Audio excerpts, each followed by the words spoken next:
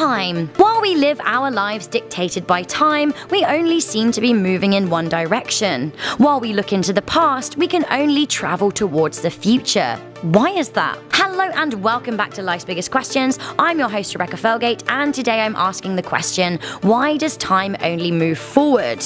Guys, get ready for the answer because it's pretty mind-boggling. Before we full on get into this video, I just want to ask you guys to let me know if you think that we'll ever be able to travel back in time. Also, please do leave us a thumbs up if you like our content. Okay, this is a big question, so I'm gonna do my best to explain this as simply as possible. Firstly, let's start off by saying that there is nothing written in the laws of physics that says that time is a one-way street. Everything we know about the way the universe works means that there is nothing stopping events happening in reverse. So why then does time seem to only move forward? Why, when we spill a drink, can we not unspill it? Why, when we add cream to coffee, can it not separate again afterwards? While we don't have a concrete answer for this, it seems to be related to the second law of thermodynamics, which discusses something called entropy. In the second law, scientists observed that the entropy of the universe tends to a maximum. Put a pin on that thought for just one second. So what exactly is entropy? Entropy is something thought up by a scientist in the late 1800s called Ludwig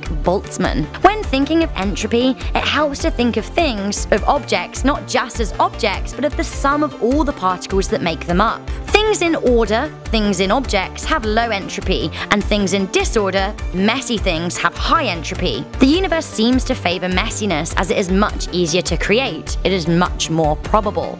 Physicist Brian Cox uses the example of a sandcastle to explain the arrow of time in relation to entropy. A sandcastle is an object with low entropy, so low messiness, because it's in a specific formation. If we knock that castle down, it will likely move to a state of high entropy, high messiness. While it is technically possible for the sandcastle to rearrange itself into castle formation, it is far less probable. There are infinitely more possibilities for rearrangement. It being like rolling a dice with trillions of sides. In physics, backwards time is possible, it's just highly, highly, highly, highly, highly improbable.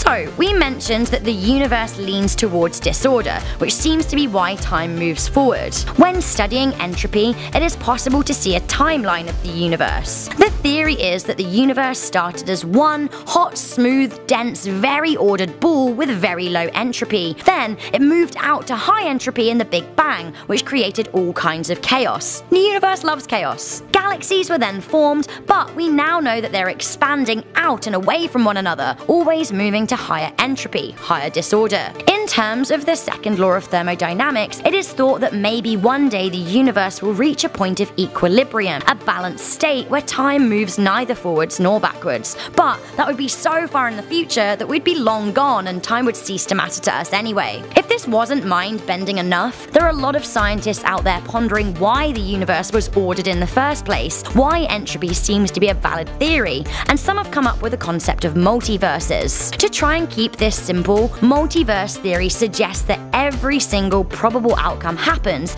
each spawning its own reality, creating an infinite number of universes that live side by side. In one of those multiverses, perhaps time does indeed move backwards. Well, I don't know about you, but my mind feels like it has been well and truly bent enough for one day. If you feel particularly boggled, then try watching this video back again and see if it makes sense a second time. Also, I would always encourage you to look up the topics that we discuss in videos for yourself. You may have your own understanding from source material. So guys, do you think that it will ever be conceivably possible that we could travel backwards in time? What do you think will happen to our universe when we reach equilibrium? Let me know in the comments section down below. For now, thank you guys for tuning into Life's Biggest Questions. Please do leave us a thumbs up and stay subscribed for more big answers. I'm your host Rebecca Felgate. I'll catch you in the next video, but for now, stay curious, stay alert, and never ever stop questioning.